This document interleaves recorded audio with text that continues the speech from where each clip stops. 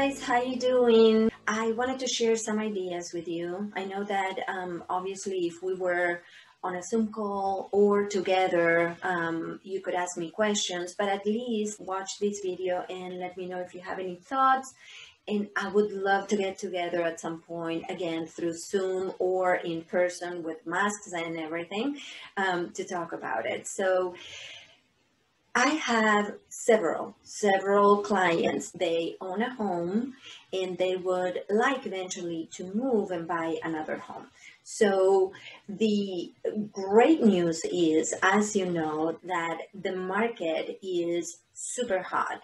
I mean, the inventory is very, very, very low, and that is driving the prices super high. So right now, sellers are getting top dollar for their homes. Um, of course, that is a great advantage for you as a seller. But as a buyer, that is a challenge, right? Because again, you have uh, low inventory and um, prices are super high.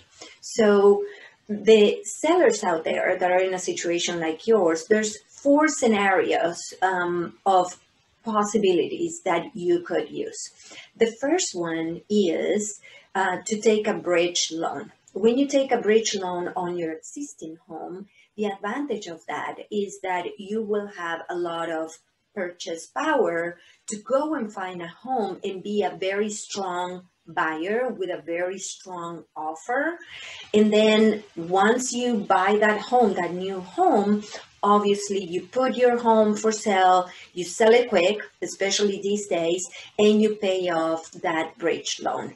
So that would allow you to stay in your home right now, find a home that you like, buy it, and then put your home for sale and have a, a smooth move, right?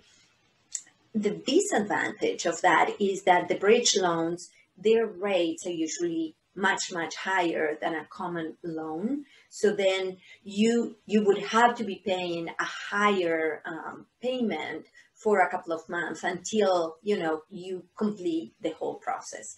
That's the first scenario. Not my favorite but it's out there and i wanted to make sure that you know about it.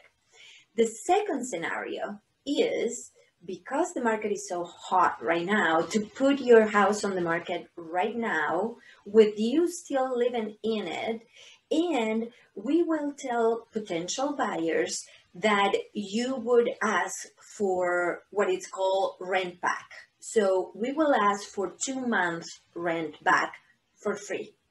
It's a great option for you because it will allow you to have 30 days more or less, which is what takes um, these days houses to sell from the moment you put it for sale until you close escrow. So that's 30 days plus this extra 60 days of rent back. So a total of 90 days that you can still live in your home for free while you are looking for your next home. So then of course, we're going to start looking for the home to buy the moment that we decide to move forward with this.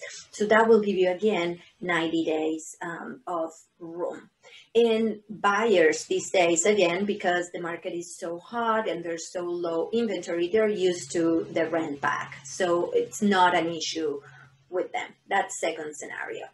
Third scenario is to reverse the process meaning you look first for a house that you want to buy. You don't put your house for sale on the market. So you go and try to find a house to buy. And then eventually, when we find it, we make an offer contingent to the sale of your current home. The disadvantage of that, I'm sure you you sense it already, is that uh, your your offer is not going to be that strong because again, you know, nowadays, as you know, there's buyers that are paying cash for the properties or even, you know, paying or offering 100, 200, 400 over asking price. So you coming in with a contingent offer um, to the sale of your home is not going to be too strong. But again, that's an option. That's the third option.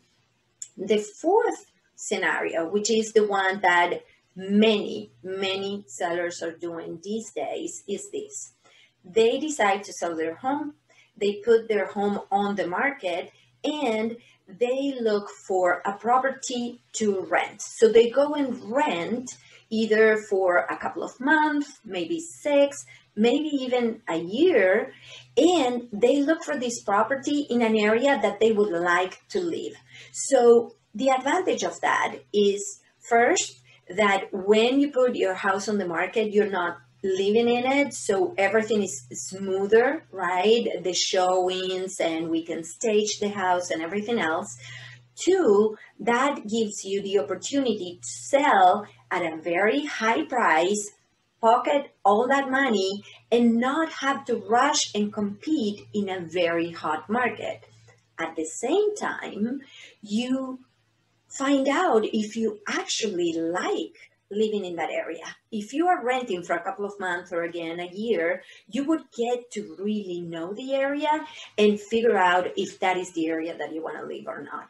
And by then, hopefully, the market will be more balanced and there would be more inventory out there and also the prices will hopefully come down a little bit. So basically, you would make the most out of the house that you're selling you're going to pocket that money. You're going to rent and get used to the new area. And eventually, when you're ready, we're going to find you a home at a convenient price for you. Again, that is the option that many, many clients are taking these days. So food for thought. I thought um, I should share this with you. Again, guys, I would love to have dialogue and get together through Zoom or in person to talk a little more about it. And you know where to find me. I would love to work with you, and I know that we can make this a really, really good move for you. Have a wonderful day.